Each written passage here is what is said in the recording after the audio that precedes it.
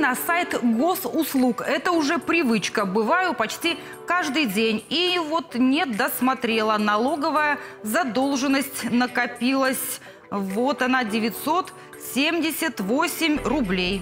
Оплатила только сегодня. Пени набежали. Но радует, что не найдено оповещение, штрафы от ГИБДД. Водитель я аккуратный, однако не всегда успеваю уйти с перекрестка на желтый сигнал светофора. В каких ситуациях нам стопроцентно штраф прилетит, выясним у юриста. С вами Ксения Волкова, и вот о чем еще поговорим точнее. Нагородили. Получается, им только на вертолете залетать. Жители многоэтажек оказались в тисках шлагбаумов. Как решить трехсторонний конфликт?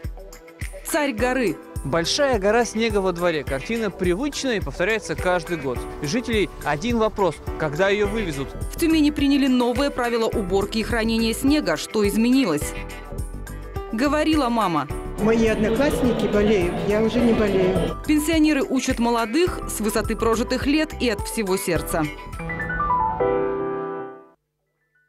Ритм жизни ускоряется. Вот-вот начнется предновогодняя суета, годовые отчеты, голова кругом. Сегодня в нашей группе «Новости Тюмени», точнее ВКонтакте, идет опрос при сильном стрессе. Что вам помогает таблетки, алкоголь или отдых? Голосуйте. Интересно, что получим в итоге.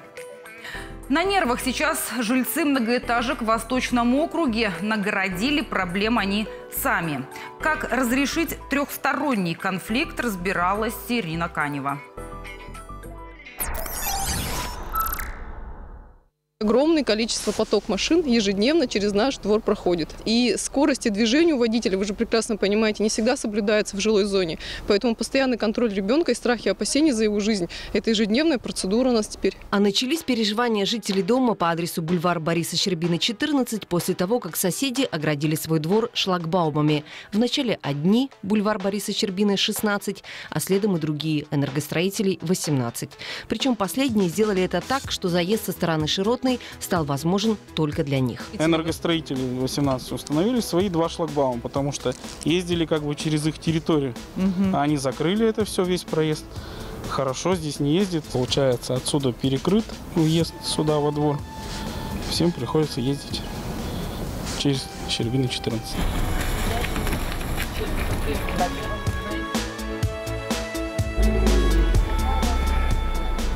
Как итог, жители 16-го попадают к себе, проезжая только мимо 14-го. У него же паркуются все, кто не может попасть за шлагбаум. Вечером здесь транспортный коллапс. А в случае аварии, в случае пожара, в случае э, вызвать скорую помощь, это неправильно, это в корне неправильно, эти шлагбаумы. Ну и самый абсурдный факт. Дороги в этом микрорайоне еще не везде проложены. Чтобы добраться на машине до ближайшего гипермаркета, жителям домов номер 14 и 16 бульвара Бориса Щербины приходится объезжать почти почти всю Войновку, так как с одной стороны блокпост. Для зажатых шлагбаумами собственников выход очевиден – разблокировать энергостроителей. Также считают и в управе Восточного округа. Пока сюда мы не дождемся, ничего не допустим. Там... Оказывается, демонтаж управа хочет провести через суд, но управляющая компания намерена обжаловать это решение. Земля наша, она принадлежит нашему дому по кадастровой карте посмотрели, все по закону, сбивали двое детей маленьких у площадки, потому что когда транзит идет,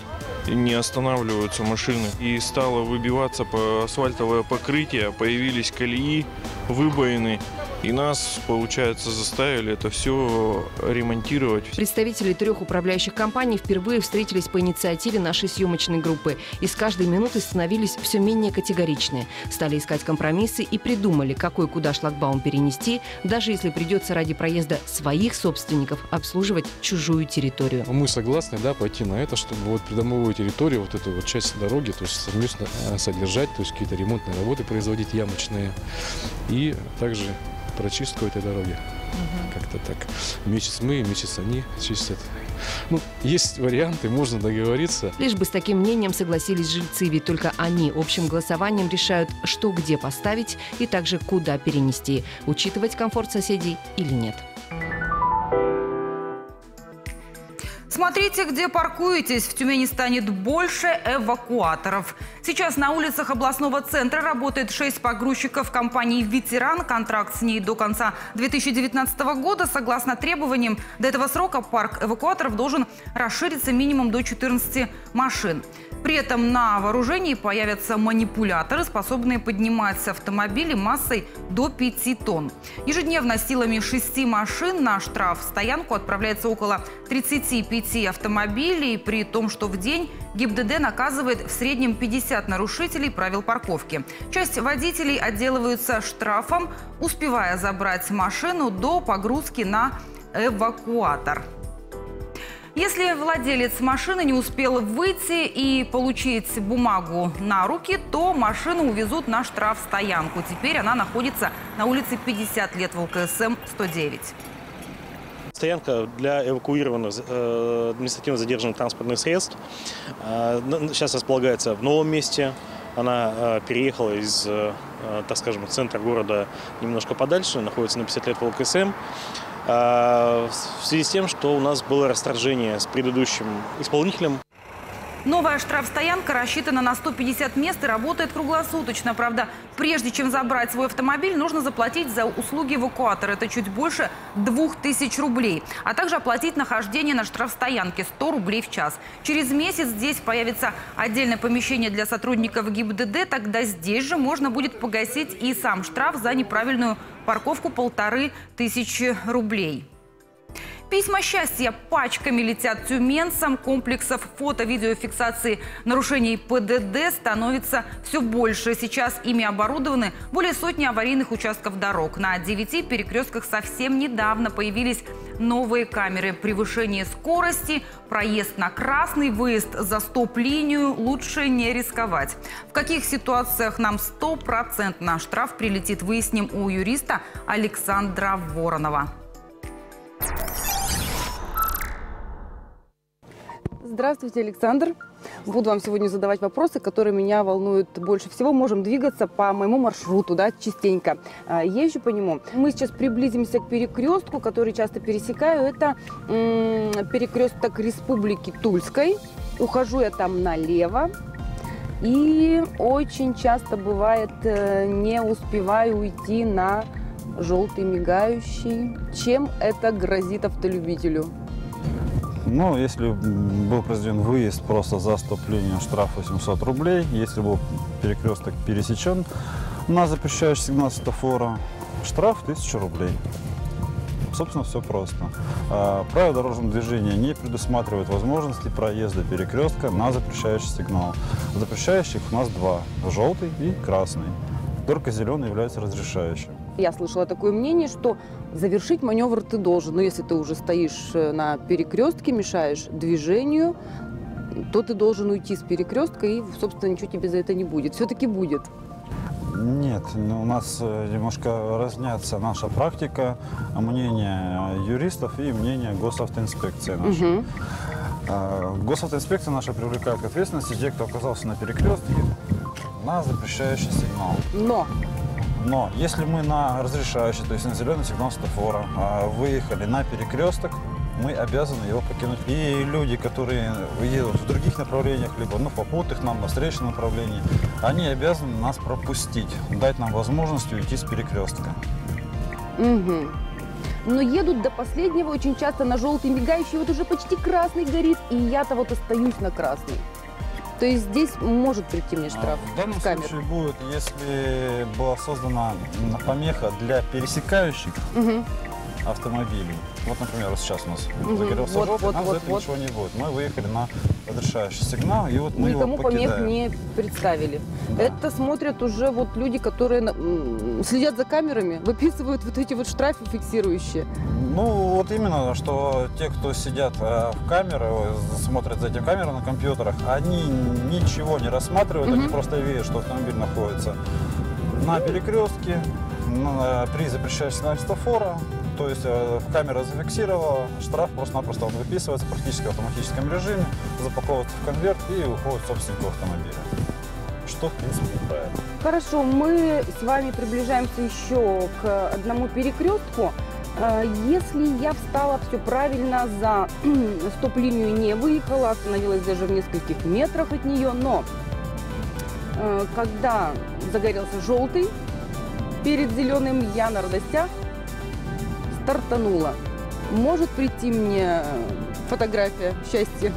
Движение может осуществляться только на разрешающий сигнал светофора на перекрестках.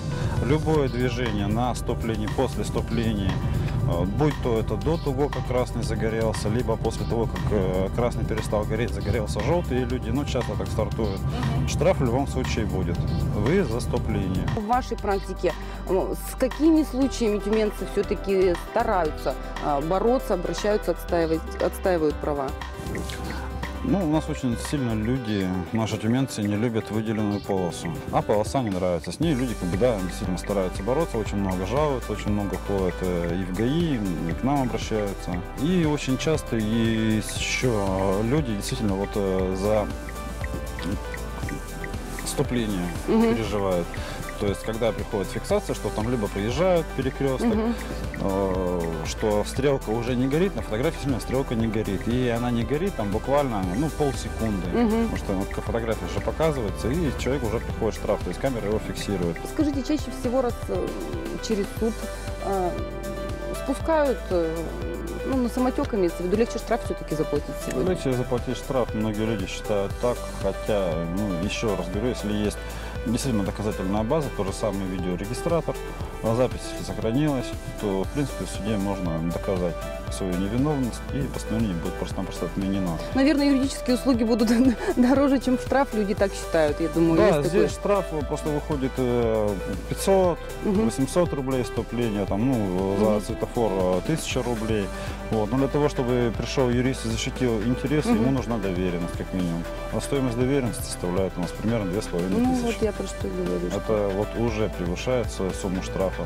Поэтому проще заплатить штраф, тем более со скидкой, раз предусмотрен законодателем. Мгм. Вместо тысячи можно отдать 500 рублей. Вот. И поэтому люди просто закрывают глаза, оплачивают штраф, и, и все счастливы. Александр, спасибо вам за консультацию. Пусть у всех будут хорошие дороги и соблюдать правила дорожного движения. Договорились. До свидания.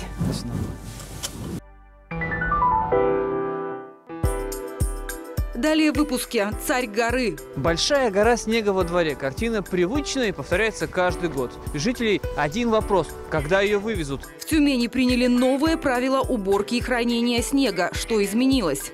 Говорила мама. Мои одноклассники болеют, я уже не болею. Пенсионеры учат молодых с высоты прожитых лет и от всего сердца.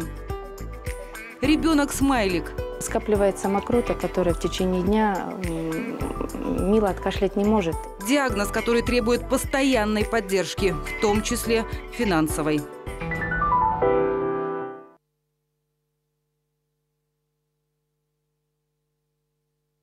Это точнее, хорошо, что вы с нами. При сильном стрессе что вам помогает? Сегодня выясняем у вас в нашей группе ВКонтакте. Варианта 3.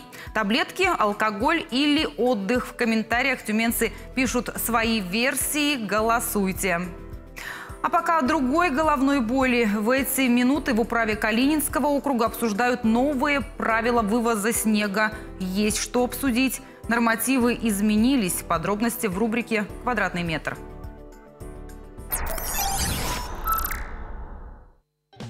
Большая гора снега во дворе. Картина привычная и повторяется каждый год. Жителей один вопрос – когда ее вывезут? Там, где я живу, у нас практически не убирают. Но сегодня, правда, начали убирать. У нас, в принципе, да, это хорошо убирают.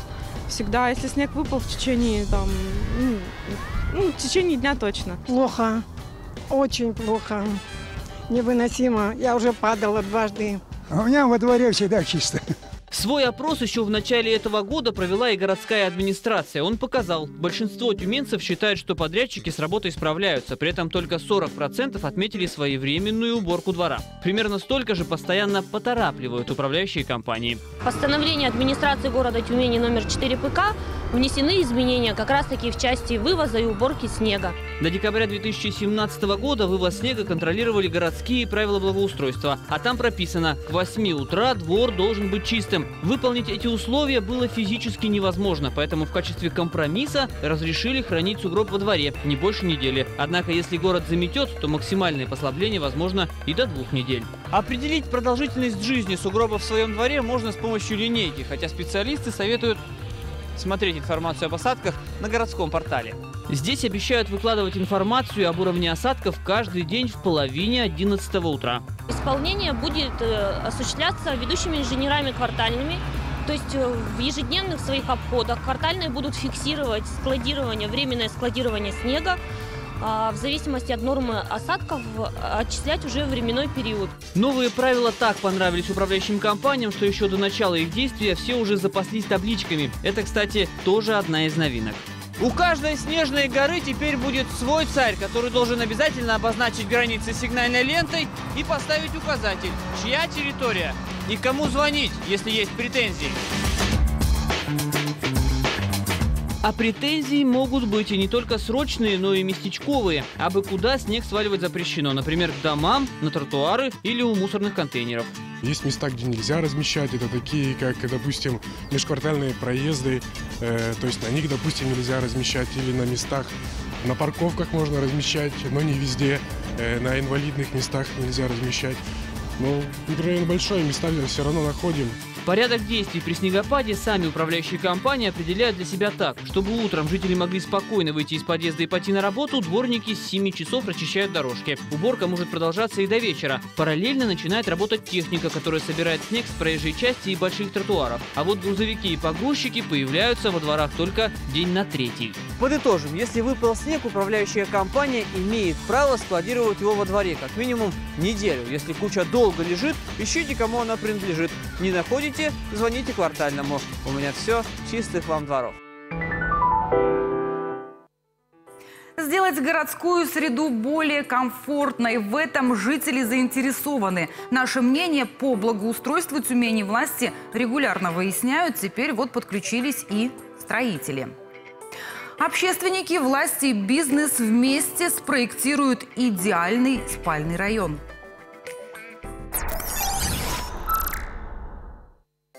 Дома в Тюмени растут как грибы после дождя. Новые жилые комплексы заняли 16 тысяч гектаров земли. Микрорайон Тюменская Слобода в южной части города. Здесь застройщики возводят школы, детские сады, торговые центры и спортивные комплексы. А скоро стройку начнет российская компания «Талант» с 15-летним стажем на рынке. Основой инновационного проекта станут исследования спальных районов Тюмени. Результаты проанализируют приглашенные эксперты Центра прикладной урбанистики. 13 декабря мы делаем конференцию, которая по большому счету является таким открытым проектным семинаром. То есть там будут презентованы результаты исследования в первичном формате. То есть э, больше будет гипотез, чем выводов, например, и предложений подумать совместно. И вторая часть этой конференции, тоже 13 декабря, это возможность попроектировать и сделать из спальных районов не спальный район. Результаты народного исследования будут полезны бизнес-сообществу, строительным компаниям и общественникам. У нас нет вектора развития и мы не знаем, чем мы будем заниматься завтра. И в масштабе города это то же самое. А, скажем, глава администрации недавно заявил, что к 2012 году Тюмень станет городом-миллионником. Хорошо, ладно, а город к этому готов? Да, есть генплан, но он не отвечает на все вопросы. Что это будет? Это будет один центр, это будет несколько субцентров. Мнение жителей по поводу развития городской инфраструктуры озвучат 13 декабря в Тюменском технопарке. Застройщики, архитекторы, чиновники и активисты-общественники будут вместе решать, как сделать спальные районы неспальными.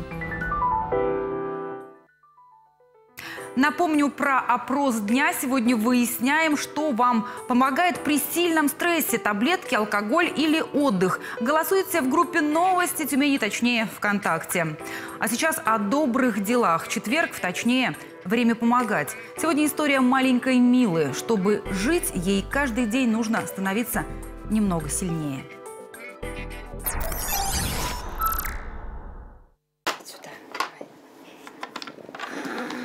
Какая молодец. Миле Ухановой скоро исполнится три года.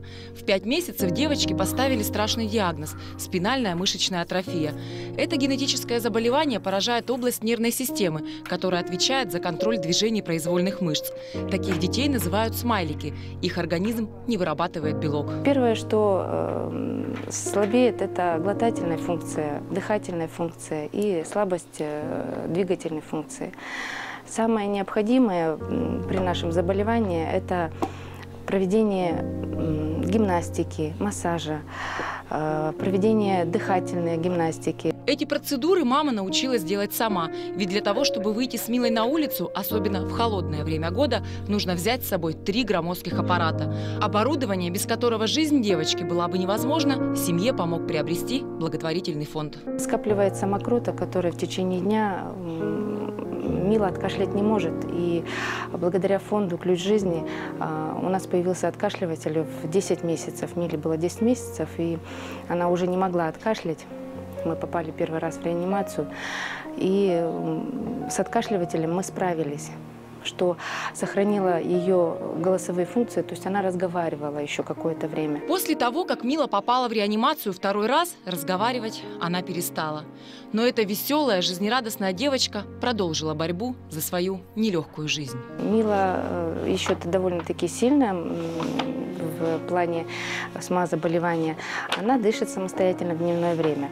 Но на дневной сон, ночной сон мы подключаем к аппарату. Аппарат для искусственной вентиляции легких для Милы тоже приобрел благотворительный фонд.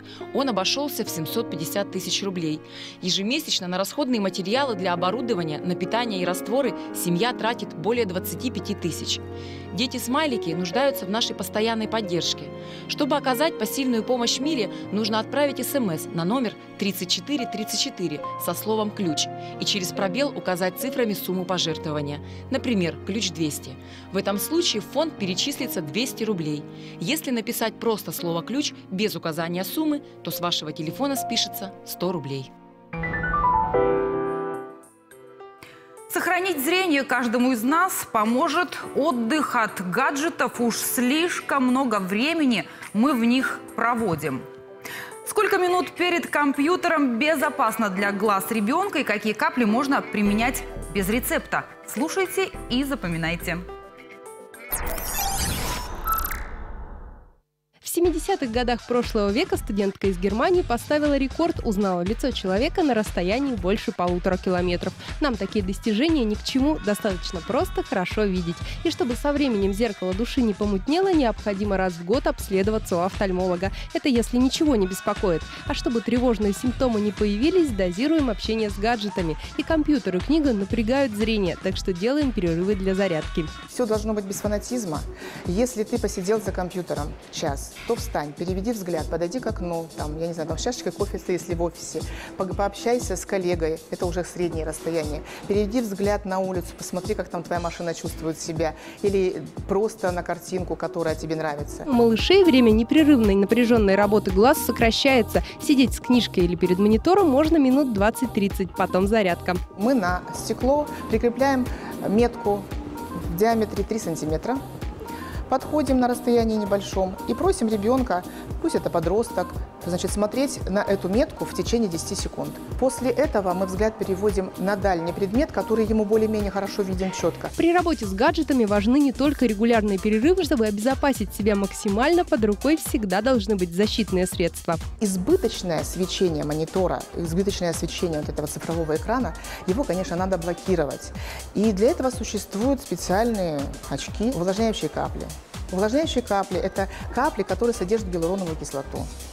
Гиалуроновая кислота способствует удержанию влаги, своей собственной влаги, которая есть в глазу. Есть натуральная слеза, которая вообще по составу своему, она схода, сходна со слезой. Пожалуйста, капайте сколько угодно. Почувствовали ощущение сухости, закапали. Другое дело лечебные капли, которые назначил доктор. Тут важно строго соблюдать дозировку. Обеспечить полноценное зрение поможет и тренажерный зал для глаз.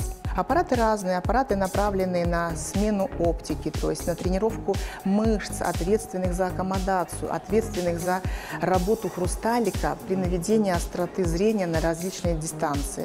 Это методики для рассматривания, для всматривания, для расслабления. Такие занятия будут полезны не только детям и подросткам, но и взрослым. Физкультура для глаз станет хорошим вкладом в здоровый взгляд на мир.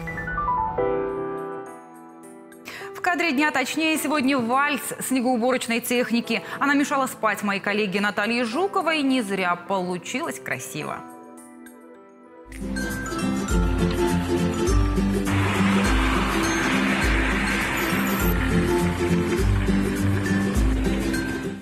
Мы с вами не прощаемся. С СТС переходите на тюменское время. Через минуту подведем итоги опроса. Что вам помогает при сильном стрессе, таблетки, алкоголь или отдых, выясним. А также спросим у терапевта Анатолия Мартынова, можно ли пить таблетки, релаксанты без рецепта. Переключайтесь на 21 кнопку «Я буду вас ждать». Смотрите прямо сейчас на канале «Тюменское время». Говорила мама. Мои одноклассники болеют, я уже не болею. Пенсионеры учат молодых с высоты прожитых лет и от всего сердца. Исторически сложилось. Мы семья, мы вместе росли. У нас э, мама и папа пели нам под гитару песни. Тюменцы возрождают театр теней. Он прост на первый взгляд. Вы смотрите «Точнее» тележурнал о людях, явлениях и событиях. Сейчас подведем итоги опроса. Сегодня мы спрашивали, что вам помогает при сильном стрессе, таблетки, алкоголь или отдых. Давайте посмотрим результат. Большинство участников спасаются отдыхом. На втором месте спиртное и успокоительные таблетки непопулярны. Спасибо вам за голоса и комментарии. Под голосованием вы написали прекрасные свои варианты. От стресса спасает прорубь, бег, йога, прогулка пешком. Наверное, поэтому тюменцы не попали в депрессивную карту России. Наше психоэмоциональное состояние исследовали специалисты Центра психиатрии и наркологии имени Сербского. И вот какой вывод сделали. Чаще всего страдают депрессии жители Сибирского федерального округа, Новосибирск, Омск, Томск, Иркутск и другие. В этих городах самый высокий уровень депрессии и частота самоубийств. На втором месте Центральный округ замыкает тройку психически нестабильных регионов Южный. А меньше всего подвержены депрессивному состоянию, как выяснилось, жители Северного Кавказа. Климат и экология, внешние факторы оказывают не меньшее влияние на психику наряду с внутренними проблемами, уверяют специалисты. Хорошо, что наш регион в депрессивную карту страны не вошел, но стрессов везде хватает. Как с ними справиться? Можно ли пить таблетки-релаксанты без рецепта? Спросим у президента Российского научного общества терапевтов, гостя из Москвы Анатолия Мартынова. Анатолий Иванович, рада приветствовать вас. Спасибо. А, Мы все с детства слышим фразу «все болезни от нервов», потом мы узнаем, что есть люди-астеники и еще какой-то астенический синдром. Вот я худощавая, высокая, нервная порой. Я чей-то клиент, мне к кому-то обращаться надо? Так называемая нервность, она может иметь две природы. Э, Мы о тяжелых заболеваниях не говорим. Это, во-первых, конституционально бывает, то есть, попросту говоря, это генетика. И к этому нужно относиться спокойно. Просто э, человек должен сам понять свою генетическую особенность и себя сдерживать. Настраивать, что ничего, сейчас я отдохну немножко, подумаю, и потом я выражу свою позицию, а не сразу бросаться в дискуссию. А может быть, иногда принимать легкие успокоительные, если это помогает? Сейчас скажу. А есть, э, есть астения или депрессия, или, как мы называем, синдром э, внутреннего сгорания, э, который требует медикаментозной терапии. Я не хочу заниматься рекламой, но у нас есть препарат отечественный, называется афобазол. И я вам должен сказать, что вот такая терапия, она дает коррегирующий, как мы говорим, эффект. Ну вот в нашем современном мире ведь сейчас просто вот все-все на нервах, уровень агрессии на дорогах, везде общение, в любой, там, поликлинику тоже возьмем, да, регистратуру поликлиники. Вот э, всем нужно корректировать, получается, поведение? Практически да. Практически да. Но я вам должен все-таки это элемент э, самовоспитания, самосдержанности и самоконтроля. В этом большой трагедии лет. Нет, мы все разные, все по-разному реагируем. Самое главное не торопиться. Не торопиться кого-то осудить, я уж не говорю обругать. Не торопиться высказать свою точку зрения сгоряча. Надо действительно спокойно подумать. Помните старые приемы? Досчитай до 10. Вот это полушутливый прием, но он работает. А вот с такими проблемами мы можем обратиться и во время диспансеризации? У нас э, она всероссийская, мы ее периодически по годам рождения проходим. Или же диспансеризация все-таки для выявления более серьезных проблем? Нет, диспансеризация решает много, много вопросов. Она решает вопросы так называемого базового или стартового состояния здоровья. И на основании результатов диспансер- диспансеризации терапевт принимает решение, что делать с пациентом. А количество тех исследований, которые входят в диспансеризацию, их достаточно или э, нужно расширять? У нас четко отработана э, система, четко, четко сформулированы рекомендации. И вот то, что сейчас мы делаем, этого достаточно. Другой вопрос, что все представители нашего, э, нашего общества должны понять простую вещь. Диспансеризация нужна не врачу, нужна не руководителю предприятия, которые должны стимулировать стимулизацию, а для твоего личного здоровья. К сожалению, это понимают не все. Ссылаются на загруженность, ссылаются на нежелание, некоторые на недоверие, но процент охвата диспансеризации пока у нас недостаточно. Нужно Но больше. эта работа проводится. Я думаю, что вот разговоры, вч- включая телевидение, они, может быть, помогут нашим гражданам немного перестроиться. У нас есть специальный методический подход определения факторов риска. Ну, например, человек чувствует себя практически здоровым. Ему, он- ему провели исследование по программе диспансеризации и выявили, например, э, нарушение липидного обмена. Он здоров. Никаких проявлений пока патологии нет. Но мы знаем, что пройдет 5-7 лет, и эта патология себя проявит либо стенокардией, либо инфарктом миокарда, либо инсультом. И вот если мы сегодня возьмемся за эту проблему, это будет реальная возможность предотвратить эти грозные заболевания и осложнения. Если мы за эту проблему возьмемся, когда грянет гром, поезд ушел. Спасибо большое, удачи вам. Всегда будем рады видеть вас в Тюмени. Спасибо. До свидания. Как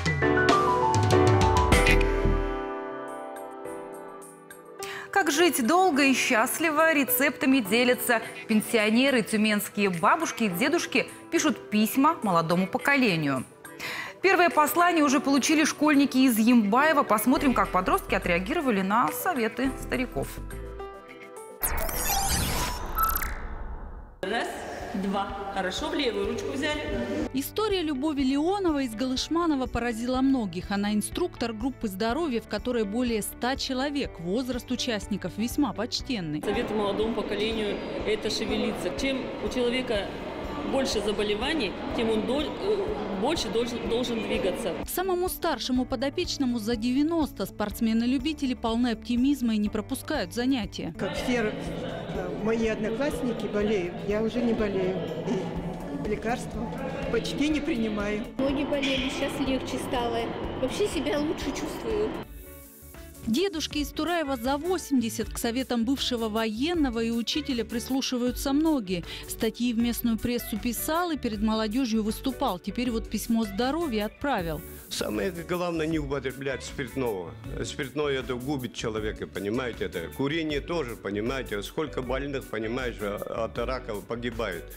Нельзя, понимаешь, это причинять себе же вред. Э, Человек с такой жизненной позицией и с таким жизненным опытом может давать советы молодому поколению. Он еще хочет сесть еще написать что-то такое более большое и более такое основательное для молодежи.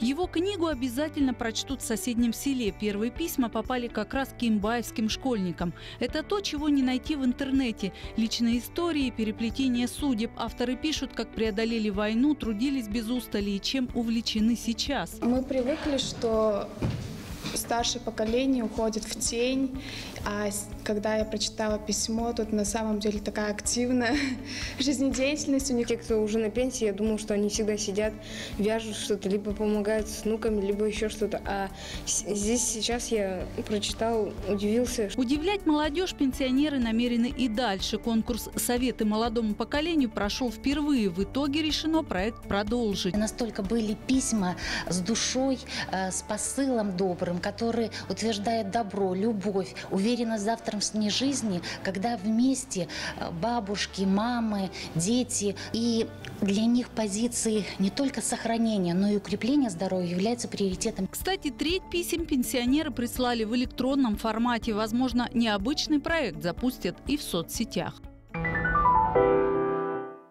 То, что пенсионеры самого старшего возраста не поголовно, но большая часть освоили компьютер, это не новость, это здорово. Теперь им надо телефоны менять, чтобы онлайн беседы вести. По какому поводу, узнаем из краткого блока событий.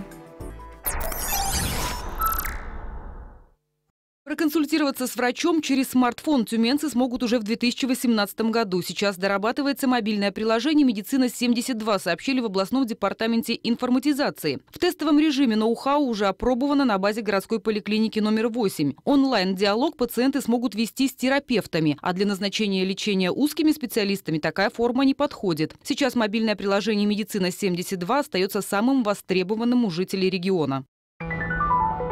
Тотальный экзамен на знание ПДД прошел в Тюмени. Сегодня его сдавали в областной думе, накануне студенты и посетители научной библиотеки. Процедура не отличается от той, что предусмотрена в ГИБДД. За 20 минут нужно ответить на 20 вопросов. Но в отличие от настоящего экзамена, здесь не будут оценивать знания участников. И тем более не заберут водительское удостоверение у тех, кто допустит ошибки. Об этом больше всего переживали все сдающие тотальный экзамен. Итоги акции ГИБДД подведет в конце декабря.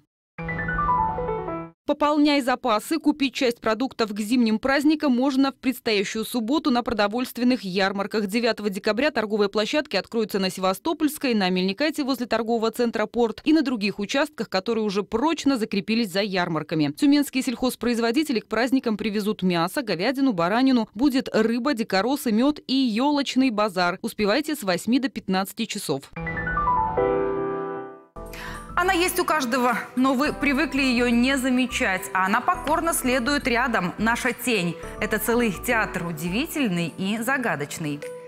Первые театры теней появились еще во втором тысячелетии до нашей эры в Китае и Индии. Как сегодня играют тенью, расскажет Елена Литвиненко. Театр Андрея Прунькина существует уже 15 лет, и основная его отличительная особенность – семейственность. В театре работают две его старшие сестры, а папа помогает инженерными решениями, поэтому и на гастроли он не ездит, его работа больше за кулисами. Мы семья, мы вместе росли, у нас э, мама и папа пели нам под гитару песни, мы вот что-то вместе там вырезали, делали. И абсолютно сами мы пишем сценарии, делаем кукол, мы никогда никому ничего не заказываем.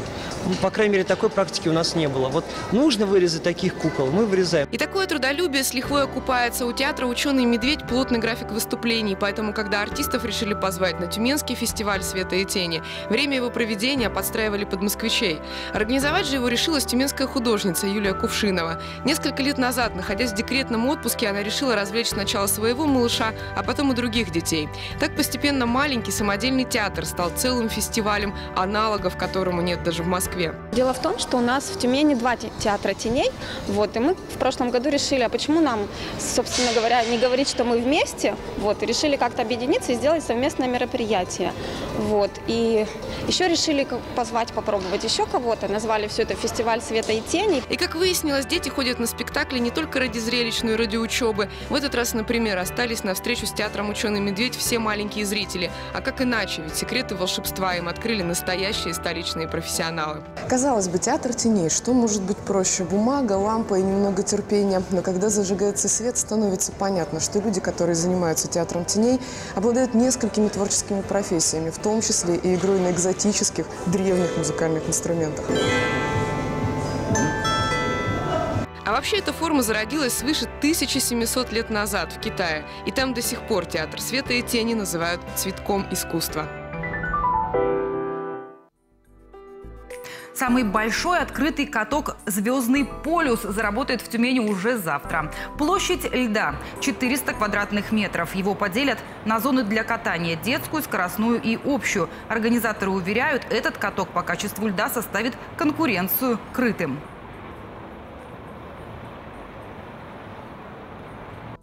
Самый идеальный лед, э, мы говорим сейчас об уличных катках, потому что несколько раз в лед будет производиться заливка, и заливка будет производиться профессиональной э, заливочной техникой. Ножом убирает все неровности, и за ней уже идет заливка э, вот этой поверхности. Чтобы каток отвечал всем заявленным параметрам, пригласили специалистов из Москвы и Волгограда, а также закупили две ледоукладочные машины, 400 пар коньков и шатры, спасающие от ветра. На территории будет работать диджей, предусмотрены и ночные сеансы. Стоимость катания вместе с прокатом 400 рублей.